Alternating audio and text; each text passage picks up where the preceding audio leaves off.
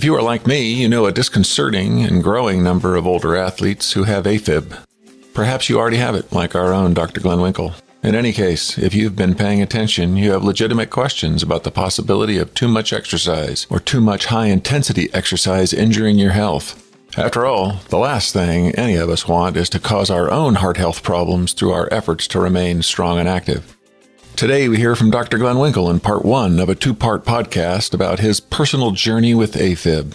When Glen discovered he had AFib in 2004, he went deep into the science to uncover solutions that have worked for him to retain his ability to be an endurance athlete well into his sixth decade, and he's not done yet.